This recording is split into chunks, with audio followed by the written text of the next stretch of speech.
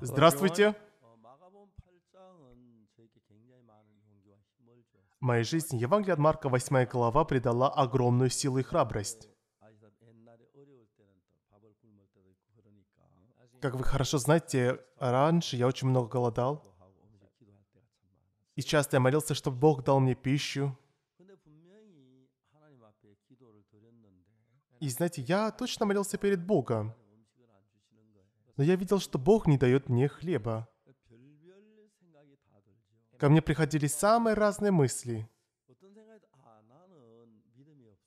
Я думал, наверное, у меня нет веры. Поэтому Бог не слышит мою молитву.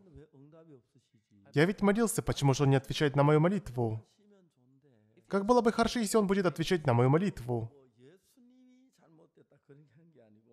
Я не считал, что Иисус не прав.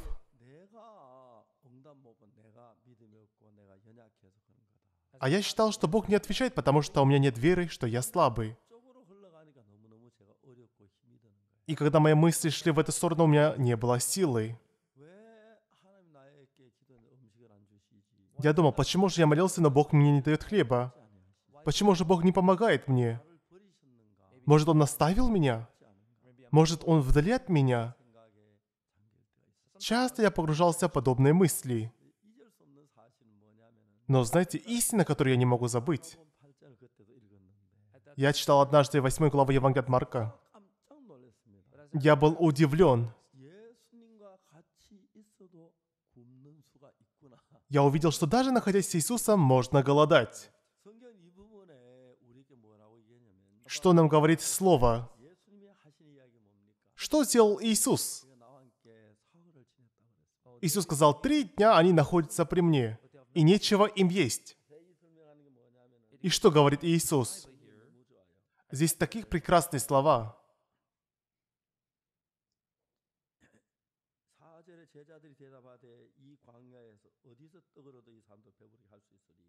Четвертый стих. Ученики его отвечали ему, «Откуда бы мог кто взять здесь в пустыне хлебов, чтобы накормить их?»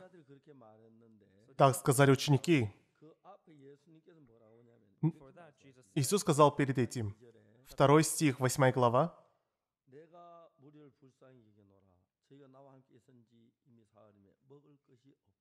Жаль мне народа, что уже три дня находится при мне и нечего им есть.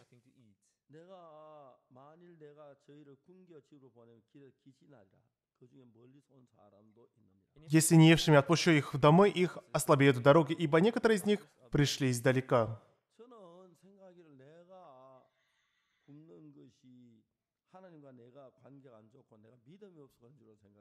Я считал, что я голодаю, потому что у меня плохое отношение с Богом, потому что у меня нет веры. Но в Библии я увидел, что даже находясь с Иисусом три дня, люди голодали. А что еще интересно, Библия очень ясно описывает нам. Некоторые из них пришли издалека. Если я неившими отпущу их домой, их ослабеют в дороге. Когда мы слышим подобные слова Иисуса, что удивительно, во-первых, это то, что находясь с Иисусом, я могу также голодать. Три дня находились с Иисусом, но находились в голоде. А также Иисус знал наше положение. Он говорит, если не отпущу их домой, ослабеют дороги ибо некоторые из них пришли издалека.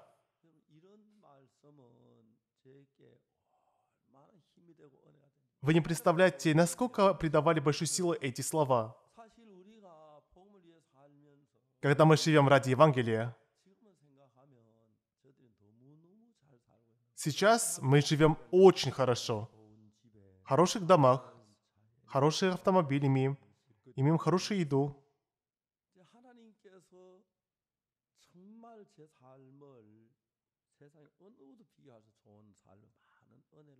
Господь Бог помиловал мою жизнь, что она была самой лучшей в Господе. Когда я начинал свое служение, да, были трудности, часто я голодал. Голод была не проблема. Но я думал, почему же Бог не отвечает на мою молитву? Я же так молился, почему же Он не отвечает мне? Он что, оставил меня? Почему не слышит мою молитву? Он, может, не любит меня? Когда приходили ко мне подобные мысли, у меня исчезала всякая сила. Но однажды я читал Библию. Я был удивлен.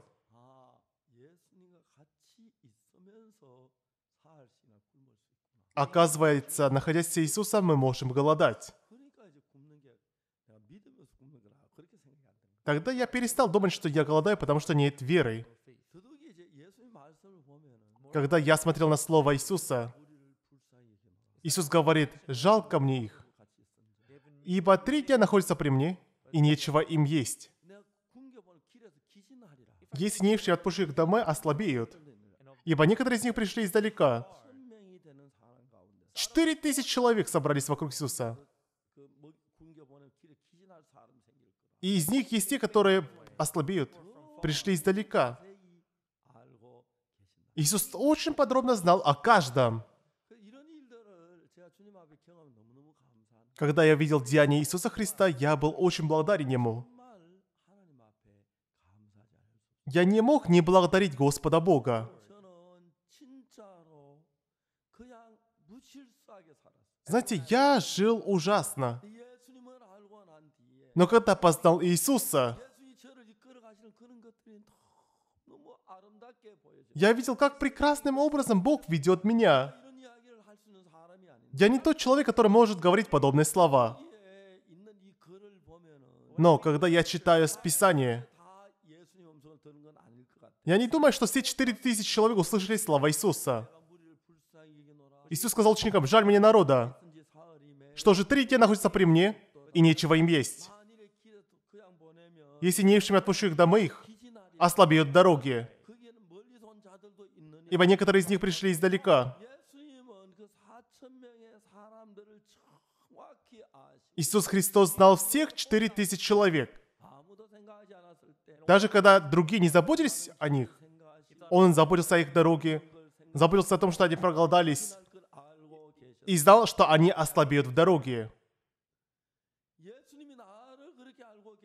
Иисус Христос знает и обо мне. Он знает, чего у меня нет – знает, что я беден, знает мои недостатки, знает мои слабости, знает, что у меня нет веры. Поэтому Иисус готовил. Поэтому мои мысли не имеют никакого смысла. Почему? Потому что раньше, чем я, Иисус подробно, досконально думает обо мне. И хотя у меня нет способа, у Него есть способ.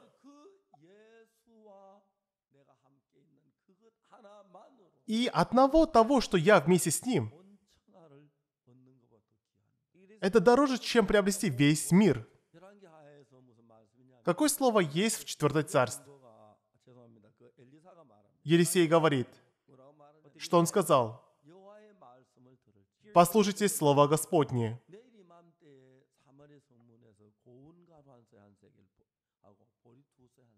Так говорит Господь, завтра в это время мира муки лучше будет посеклю две миры ячмени посеклю ворот Самарии. И что сказал на это сановник? Если бы Господь открыл окна на небе, тогда может ли быть это?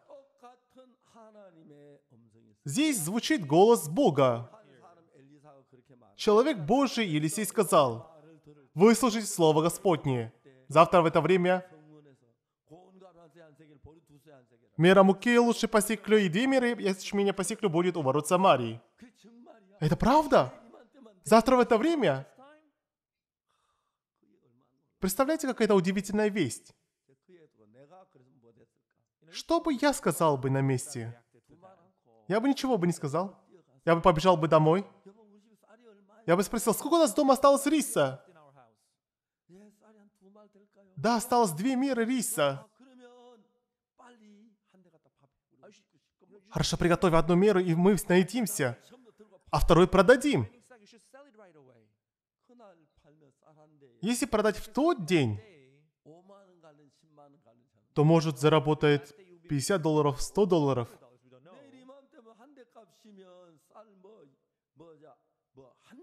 Но за эти деньги на следующий день можно будет купить целый мешок риса. Так могут поступить, когда вера наступает в душу. Господь Бог сказал израильтянам, «Выслушайте Слово Господне».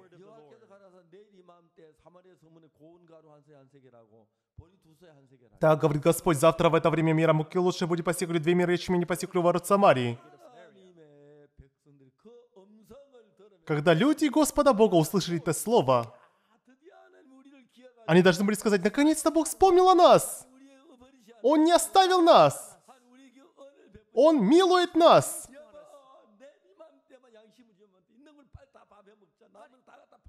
Дорогая, завтра будет много еды, поэтому давай все съедим и продадим.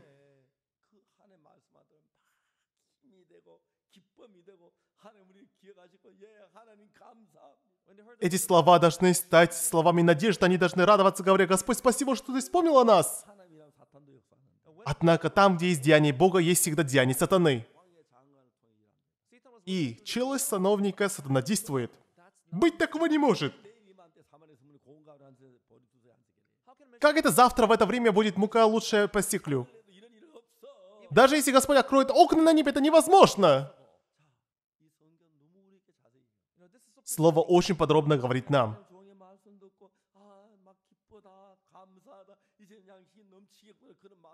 Была только что надежда, что наконец завтра будет много пищи. Но когда слушать слова сановника, говорят, ой, правильно говорит, это ж невозможно. Как это Мурами будет постиклю, две меры ячмени будет постиклю? Да, сердце человека ведется так. Также и у вас, слушатели. Когда мы читаем Слово Божие, у нас появляется надежда. А когда смотрим на положение, Ой, почему я должен быть бедным? Почему должно быть так тяжело? Почему я должен страдать из-за копеек? Мы правда верим в Бога? Разные мысли начинают вести, и мы следуем за ними. Когда вы слушаете проповедь в воскресенье или в другие дни, если Слово Божье укрепится в ваших сердцах, вас будет переполнять надежда на Бога. Будет чувство благодарности наполнять вас. И радость будет переполнять вас. И сердце Бога укрепится в нашем сердце. Кто сказал? Человек Божий Елисей сказал. Это слово Господа. И оно обязательно сбудется. Бог вспомнил о нас. Он не забыл о нас. Душа переполняется. Но сановник говорит, если бы Господь и окна открыл бы на небе, тогда может ли это быть? Многие люди, они имеют два уха. Одно ухо, которое может слышать слова Бога. Если бы левое ухо было, которое слышит голос сатаны, то мы бы все закрыли бы левое ухо, или заклеи бы уже клеем, и слушали бы только правым ухом слова Бога. Но что интересно, и правое ухо слышит голос Бога и голос сатаны. И также левое ухо слышит два голоса. Почему же происходит так? Потому что Бог говорит, ты выбери. Ты верь то, что хочешь. хотя не верю в голос сатаны. Но если мы их слышим, оно уже влияет на нас. Ну да. Как во время такого голода, когда враги окружили нас? Откуда может прийти пища? Не может прийти пища. Это невозможно. Как в это можно поверить?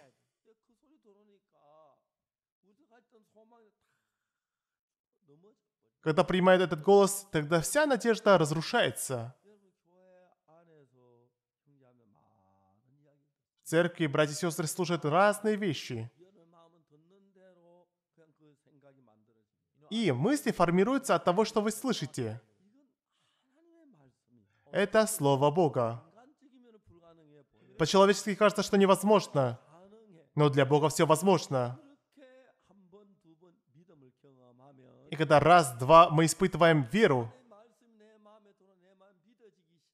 когда у нас формируется вера в Слово Бога, знаете, у меня было так. Когда я служил в Акуктонге, мы несколько дней голодали. То, что я был голоден, было тяжело. Но тяжелее этого было то, что я молился Богу. Искренне молился Богу но всю ночь молился. Однако, почему же Бог не дает мне пищу? Я думал, может, Бог оставил меня?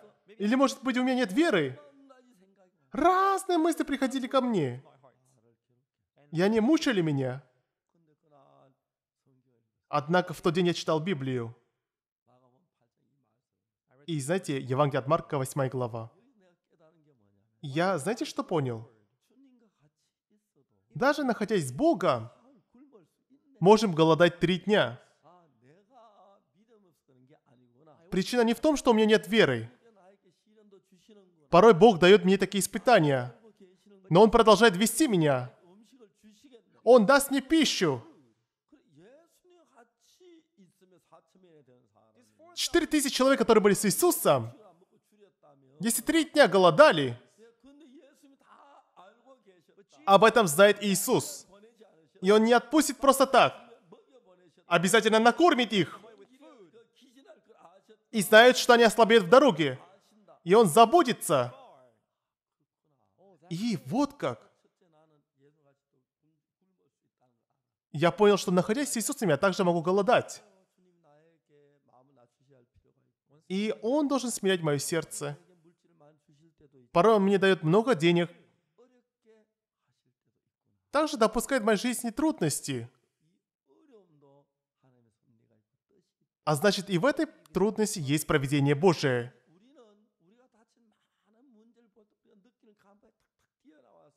Мы сталкиваемся с разными ситуациями и обстоятельствами. А у меня нет веры, у меня не получается, я не могу. Бог не отвечает мне на молитву. И подобные мысли начинают укрепляться в нас. Да, может быть, Бог не отвечает, Порой воля Бога может быть, чтобы не отвечать. Можно родиться слепым, можно родиться и хромым. Такое тоже может быть. Это потому, что я так жил? Нет.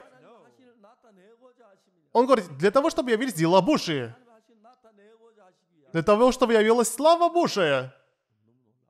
Знаете, что удивительно? Порой происходит то, чего мы не ожидали. Порой мы можем заболеть, мы можем испытать трудности. Может, у нас нет денег, или наоборот, может быть сытыми. Но важно, Евангелие от Матфея, 28 главе написано, «Я буду с вами до скончания века».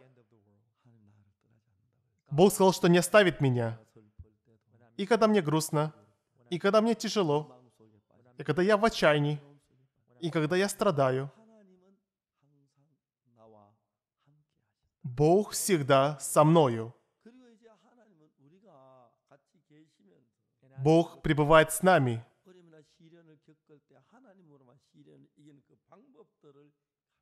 Бог учит нас преодолевать через Бога эти трудности. Но люди же думают не так. Они думают, у меня нет веры, То есть решает свои проблемы не Богом, а человеческим способом. И потихоньку уменьшается упование на Бога. И потихоньку погружается в человеческую душу. Хотя одинаковые мысли. Но у человека действует как голос Бога, так же голос сатаны.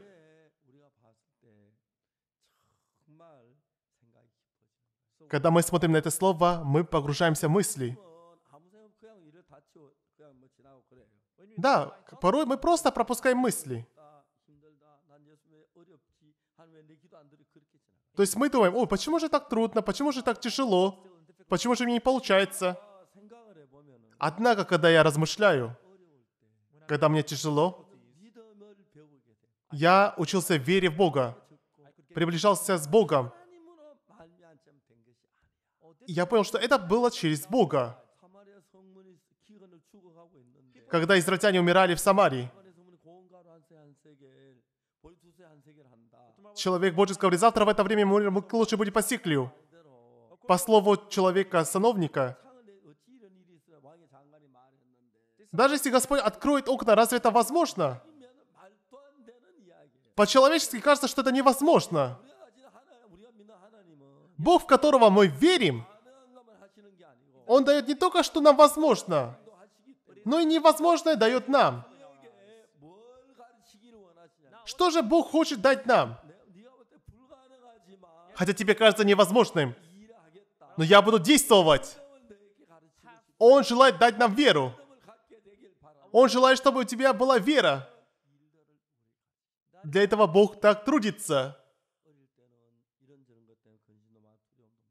детстве я много мучился из-за многих недостатков. Но я видел, как Бог открывает путь передо мною.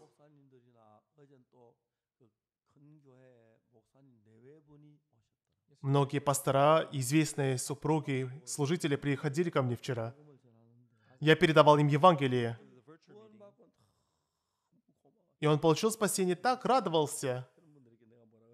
Знаете, что я сказал? когда решится ситуация, связанная с коронавирусом. Да, мы хотим провести всемирный лагерь. И мы будем проводить, приезжайте обязательно. Они пообещали приехать. Я уже делаю рекламу всемирного лагеря. Я говорю, приезжайте в Корею. Я не так были благодарны. Некоторые люди, они звонят мне,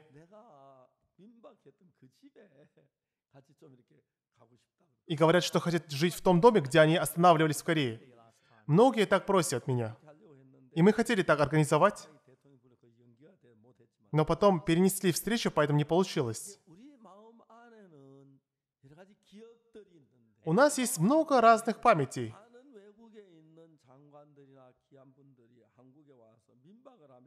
И знаете, когда многие министры приезжали в Корею и останавливались у нас, Мы даем им такую память, которую невозможно забыть. И если будет возможно, они хотят снова приехать и интересуются, как живут те, с которыми они жили. Порой они заняты, поэтому не могут приехать второй раз. Мы приближаемся с Богом. На протяжении 60 лет, с которым я был с Богом, Бог сделал в моей жизни многое невозможное. И то, что мне казалось трудным, Он решал. Он открывал путь для Евангелия. И Он действовал, чтобы я мог благовестить Слово. И когда я думаю об этом, у меня есть огромная благодарность. Порой есть трудности, и вижу потом деяние Бога. Есть испытания, потом вижу благословение Бога. И видя деяние Бога, я приближаюсь с Богом. Я думаю, да, можно голодать и с Богом. Но за этим последует деяние Бога. Он благословит. И когда я приближаюсь с Богом, та проблема, с которой мы столкнулись, а, в этой ситуации Бог поможет. Бог будет действовать. Такая вера формируется у меня. Да, в церкви порой происходят разные события. По-человечески кажется, что их невозможно решить. Но Бог открывает путь Евангелия, позволяет благовествовать до края земли. Я не могу не благодарить Бога. Я был в России. И там есть телеканал ТБН. Я встретился с директором и он очень был рад со мной познакомиться. Девять лет мы транслировали через телеканал ТБ. Когда в Корее проводили мероприятия, приезжали даже снимать. Мы были очень близки. Но что удивительно, телеканал ТБН также транслирует проповеди в Израиле.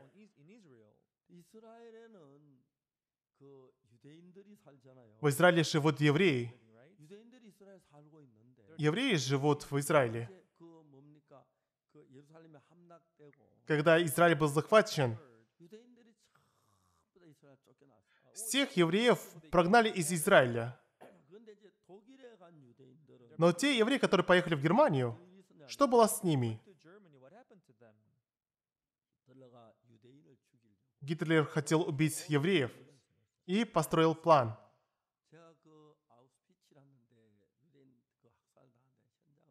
Однажды я был в концлагере Освенцим.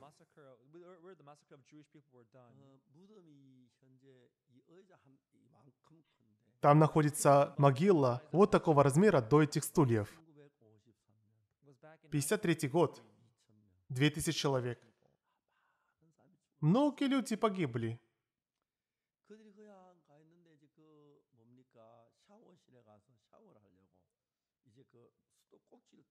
их вводят душ, чтобы приняли душ, но когда они открывают кран,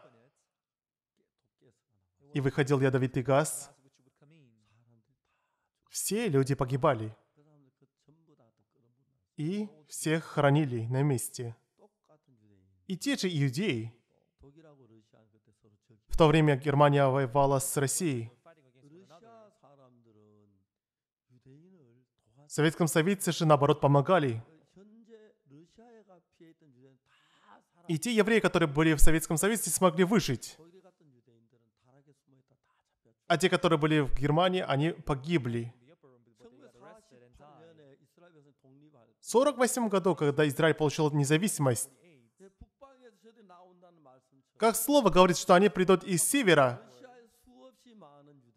многие евреи из России вернулись в Израиль.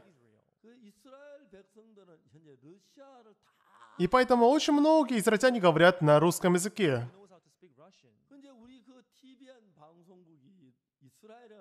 И телеканал ТБН транслирует проповеди в Израиле.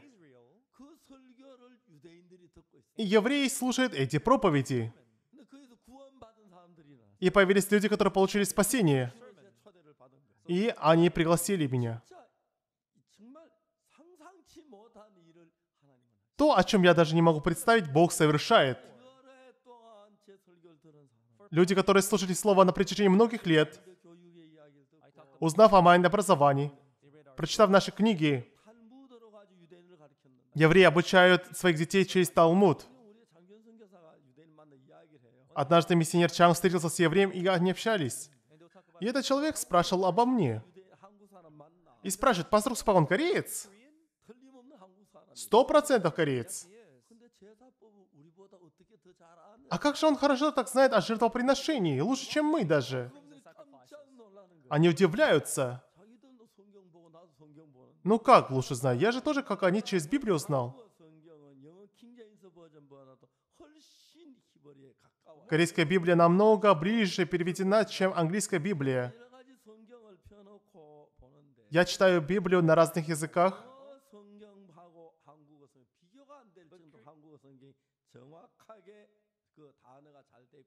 И корейская Библия, она очень хорошо переведена с правильными словами. Я не думаю, что если бы я читал Библию на английском языке, я бы понял бы столько же слова, как на корейском. Английский язык сделан из мира материального. А восточная культура отличается от западной тем, что в восточной культуре очень много духовного.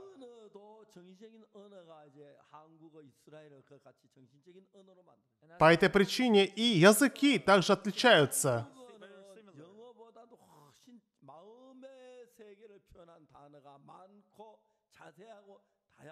Иными словами, в корейском языке очень много слов, которые могут хорошо описать внутренний мир человека. Однако, английская Библия тоже переводила на Библию.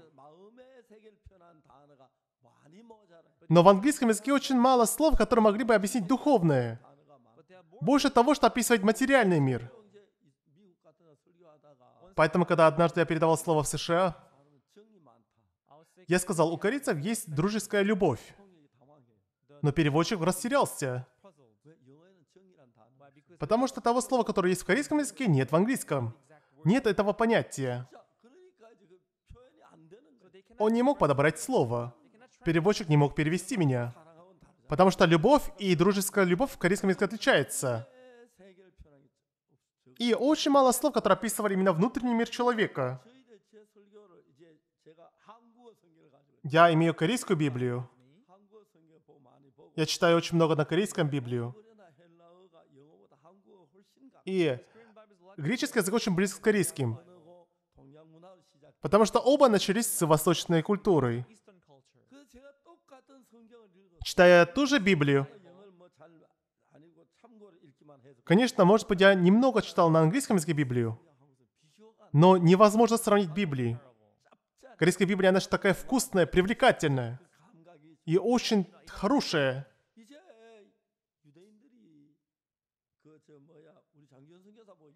Евреи говорят нашему миссионеру Чан, «Расскажите от пастора Сапак, он кореец?» Как он так хорошо знает жертвоприношения наши? Когда я поеду в Израиль, я много хочу им рассказать. Почему? Когда мы смотрим Библию, они следуют за десятью заповедью Моисея. Почему же положил 10 заповедей в ковчег и закрыл крышкою? Я говорю, да, кладут. И когда нужно класть заповедь, как кладут скрижали? Закрыть крышку, а потом написано «положи».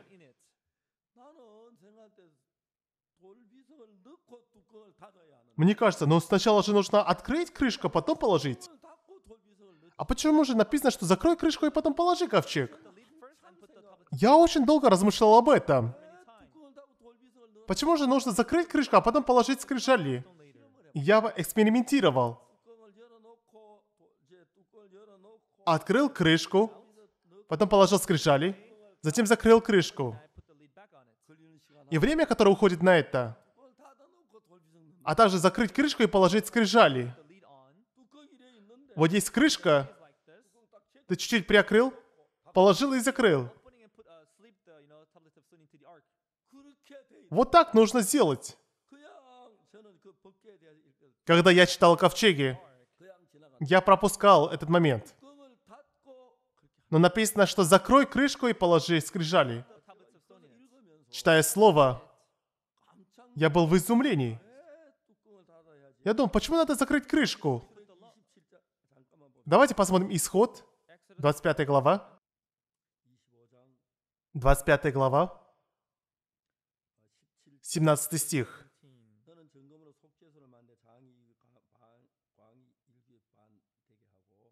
Сделай также крышку из чистого золота, длина ее два локтя с половиной, а ширина ее полтора локтя.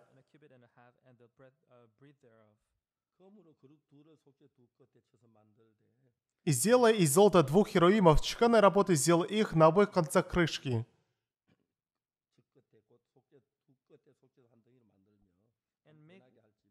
сделай одного Хироима с одного края, а другого Хироима с другого края, выдавшимися из крышки сделай Хироимов на обоих краях ее.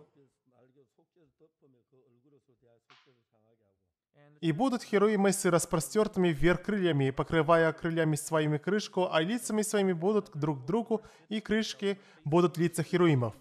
Затем 21 стих. Написано, положи крышку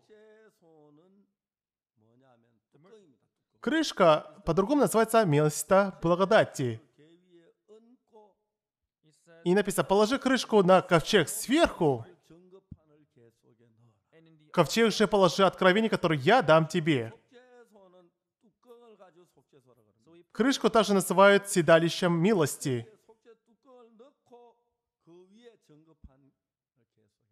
И говорит, положи крышку на ковчег, а в ковчег положи откровение. Что это значит?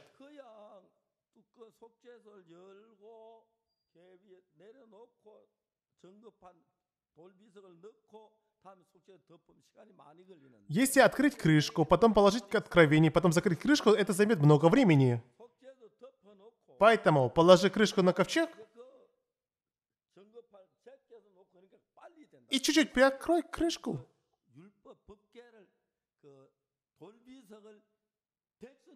И положи откровение для того, чтобы минимум смотреть на откровение. Не смотри на откровение. Поэтому крышку закрой, а сверху еще херой мы должны закрывать крыльями.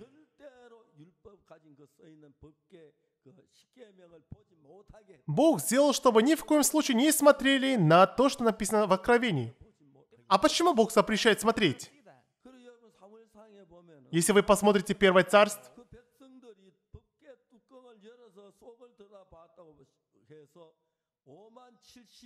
из-за того, что люди открыли ковчег и посмотрели на откровение, погибло 50 тысяч 70 человек. Бог сказал, не смотрите на откровение. Бог не желает, чтобы мы смотрели на откровение. Он желает смотреть на любовь. Но из-за того, что они знают Писание, Многие церкви сегодня повторяют 10 заповедей Моисея. Это неправильно. Так поступает, потому что не знает волю Бога. Если мы знаем сердце Бога,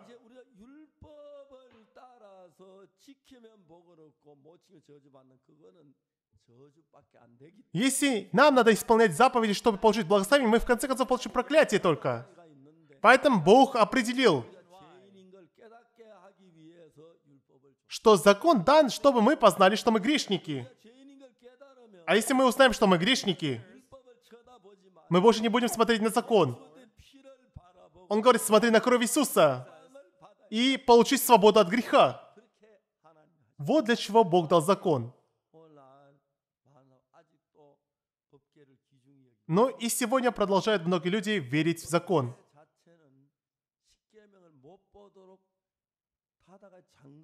Но Бог заключил под крышку это откровение. Бог не желает, чтобы мы смотрели на 10 заповедей. Бог желает, чтобы мы смотрели на закон Духа и жизни. И новое обещание, которое дал Бог.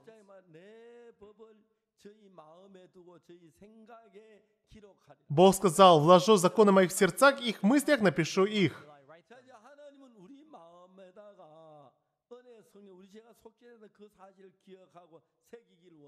Бог желает, чтобы мы помнили закон Господа Бога в сердце.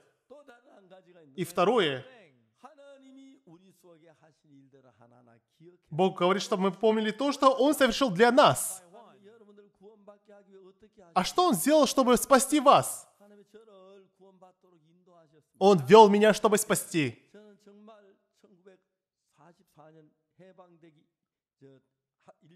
Я родился в 44 году, за год до освобождения нашей страны. После освобождения нашей страны у нас началась в 50 году гражданская война. И нам было очень тяжело. Моя мама умерла в 51 году. Через месяц забрали старшего брата в армию. Отца забрали в вспомогательные войска. Старшей сестре было 15, второй было 13, мне было 9. Мы не знали, что нам есть. Мы не знали, как надо, жить. Такие трудности. Стали условиями, чтобы я протянул руку к Богу. Я был голодным, поэтому ел все, что попадало. Мы много воровали. И меня сильно обречал мой грех. Я часто ходил в церковь. Я искренне просил, чтобы он спас меня на утреннем собрании я молился, чтобы Бог спас меня. Бог вел меня. И в 1962 году я подал документы на прапорщик инженер. У меня был сломан передний зуб. Но его было незаметно. Я не мог представить, что это станет препятствием Везде меня пропустили. И последним был стоматолог. И врач расписался в моей карточке. И там же подпись, и непонятно, что написано. Но я вижу, что у меня отличается от тех, что было у других ребят. Я сказал, покажи, пожалуйста, свою карточку. И вижу отличие, я сказал, покажи зубы. А у него зубы здоровые. Я понял, что меня не взяли. Я обратился к военному врачу. Я спросил, вы бы не могли бы помочь? Он говорит, ладно, если бы это был внутренний зуб. А у тебя сломан передний зуб, как я могу помочь? Ну, чуть-чуть же он сломан. Но меня не взяли. Я впал в отчаяние. Что бы я ни делал, у меня ничего не получалось. Живя в этом мире, я верил только себе. Но во всем, где я верил себе, все было разрушено. Я хотел поехать в Японию, но я потерпел провал. И в армии не получилось служить. Я думал, почему только у меня не получается? Эти вещи сделали, что я расстроился в себе. Раньше я любил себя. Мне что-то нравилось в себе. Я думал, что у меня есть что-то хорошее. Я думал, что я должен быть особенным. Но у меня нет ничего хорошего. Я делал только плохое только грешил. Я начал ненавидеть тебя. Я правда не любил себя. Смотря в зеркало, я говорил, ты негодяй! Но Иисус подошел именно такому мне. Никто не передавал мне Евангелие. В тот утром я тоже молился, чтобы Бог простил мои грехи. Но вдруг появилась вера, что мои грехи омыты. Мое сердце наполнилось покоем. Я начал читать Библию. Когда я читал Библию, точно мои грехи были омыты. Я сказал об этом моей старшей сестре, что я получил прощение грехов, что я стал праведным. Сестра удивилась и сказала Уксу, ты не прав.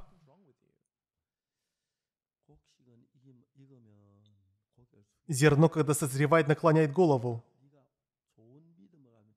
Если у тебя есть хорошая вера, ты должен стать скромным. И пастор, и пресвитеры нашей церкви говорят, что они грешники, а ты говоришь, что ты праведник? Как такое может быть? Я не мог больше беседовать с сестрой. Но потом сестра получила спасение. Я говорил перед молодыми о том, как я получил прощение грехов. Каждую субботу мы изучали гимны. 20 человек из молодых были в хоре. Я рассказал, как я получил прощение грехов, что я получил прощение грехов. Но все удивлялись говорили, то же самое у меня. Как ты получил прощение грехов? Расскажи. Я подробно рассказал, как мы получаем прощение грехов. И месяц я проповедовал им слово. Об этом сказали пастору. И знаете, к сожалению, пастор начал отдаляться от меня.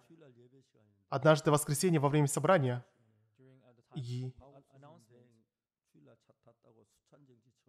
сказали, так, брат Уксупак наказан за то, что пользовался транспортом в воскресенье. Я спросил, какое наказание? Ты согрешил, поэтому не должен участвовать в хлебопреломлении. Мне хотелось сказать, а что наши, ну, вашей дочери?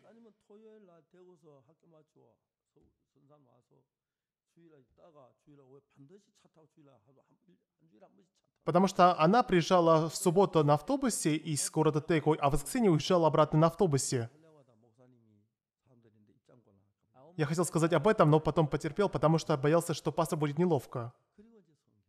И затем я начал читать Библию. И в Библии очень подробно написано о прощении грехов, о прощении за грех, когда грехи были переданы, и что Бог не воспоминает наших грехов. И когда все пары сложились, удивительное спасение совершилось. Я начал говорить об этом. Люди начали получать спасение. Это было изумительно, вспоминая прошлое и трудности, которые были у меня. То, что я воровал, эти трудности сделали, чтобы я испытывал совесть.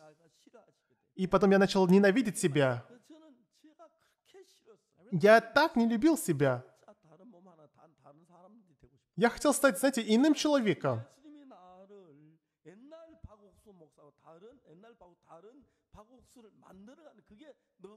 Но было удивительно видеть, как Бог из меня делает иного уксупака. Я получил прощение грехов. Я говорю о прощении грехов. Я, и другие получают прощение грехов. И каждое это слово было удивительным. Я был благодарен Богу. Я так славил Бога.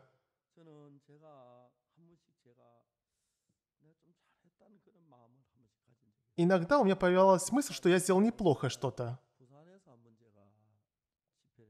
Однажды мы проводили семинар в Пусане, в зале КБС. И семинар прошел хорошо. И когда я ехал в Сеул, а, тогда я служил в Тэджоне.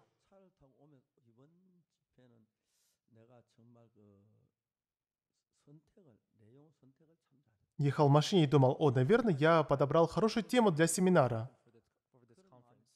Вот такое сердце пришло ко мне. И слово подошло слушателя. Я так хорошо передал слово. И потом приехал в Тэджон. 12 часов ночи. Но меня ждали очень большие трудности. Они ждали меня. Очень мне было тяжело. Каждый раз, когда я поднимал свою душу, Бог допускал мне трудности.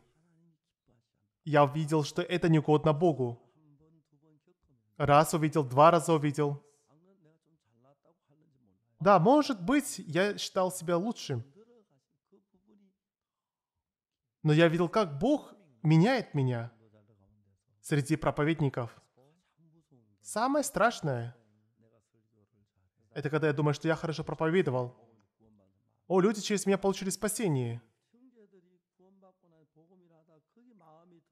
Когда братья передают Евангелие, и когда их сердце этим замешано, они начинают следовать за плотью и начинают верить в себе. Легко становятся высокомерными – и думать, что они молодцы. У меня становится высокомерная душа. И видя такое деяние Бога, мне нравилось, как Бог проводит меня. Я испытывал трудности. А это Бог дает, потому что мне нужно. Он хочет, чтобы я отпустил мою душу. У меня была гордая душа. Бог позволил мне так размышлять. И когда я увидел, что это не я сделал хорошо, а это была милость Бога, я мог приблизиться с Богом. Когда приходят трудности, у меня появляется вера, что Бог поможет мне. Когда был суд, я сказал, братья, я не буду участвовать в этом процессе. Братья, вы готовьте. Я буду благовествовать Евангелие. И во время этого процесса Кроме того дня, когда надо было участвовать на суде, и как раз суд было только по понедельникам. Кто-то говорит, что это мне уступили так. Но этому журналисту сказали, что это не так. Спроси, ты правда журналист?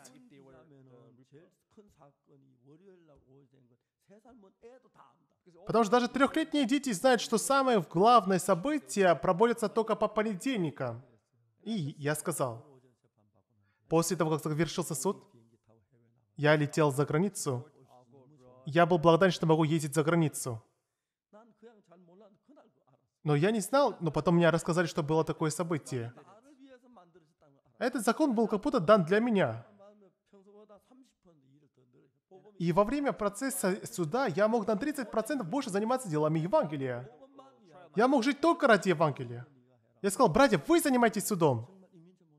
Я сказал, пастор Лимс, вы занимайтесь этим делом. Пастор, Лимс, пастор Ким Джо, занимайтесь втроем. И так было удивительно. Хотя они ничего не разбирались в этом. Во время заседания суда нельзя записывать на диктофон. И поэтому все пишут в тетрадях. И каждый пишет по-разному. Но когда три материала соединяют в единое, тогда образуется полная картина. И они видели, как Бог помогает. Они видели, как Бог ясно проводит их. Было очень много событий. Кто-то говорил, надо уменьшить наказание. И в нашей церкви братья говорили разные вещи. Но когда время прошло, и оглядываясь назад, я точно могу сказать, что действовал Бог. Как прокуратура подделала документы, чтобы обвинить меня? У нас не было способа обнаружить это. Но в журнале евангелиста Муньончун в тот день, в то время, когда написано было в документах, что я как будто снял деньги, у него в блокноте было написано, что я проводил семинар и сохранялась кассета с семинара. И меня не арестовали. Но за это прокурор лишился должности и смогли обнаружить документ. Потом из-за этого документа люди начали говорить, что я якобы присвоил церковные деньги. Но Бог защищал меня. Откуда у меня может быть больше мудрости, чем у Бога? Но когда Бог на моей стороне, он точно знает обо мне. Когда был суд с администрацией Сочо, этот суд мы не могли победить. Но Бог победил. Поэтому важнее всего это быть близко с Богом. Важнее всего читать Библию. Порой мы не понимаем Бога. Но кроме того, что делает Бог, Наша защита и забота о себе не имеет смысла. Когда Бог обо мне заботится, мы будем дороже, чем весь мир. Если бы не Господь Бог, я не знаю, что могло бы произойти со мной. Было много противников. Многие мешали мне.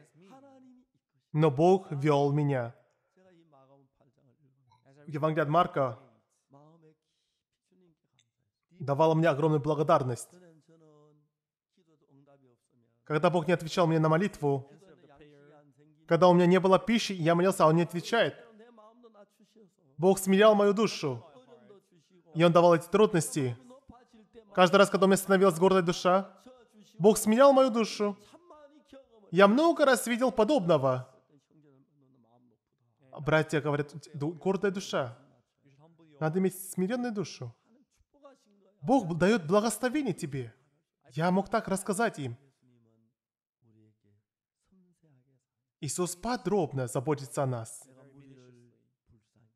Жаль мне народа, ибо три дня они со мною, но нечего им есть. Если отпущу неевшими, ослабеет, потому что некоторые из них пришли издалека. Он подробно знает жизнь четырех тысяч человек. Иисус не только знает о них, но также приготовил хлеб и рыбу и отпускает их, накормив до этого. В тот день, когда они уходили от Иисуса, я думаю, они были счастливы, они были рады, чем кто-либо. Они были ближе к Иисусу. Иисус говорит мне, читая Слово Иисуса, веруя в Слово Иисуса, имея сердце Иисуса. Какое же это благословение? Словами не могу описать.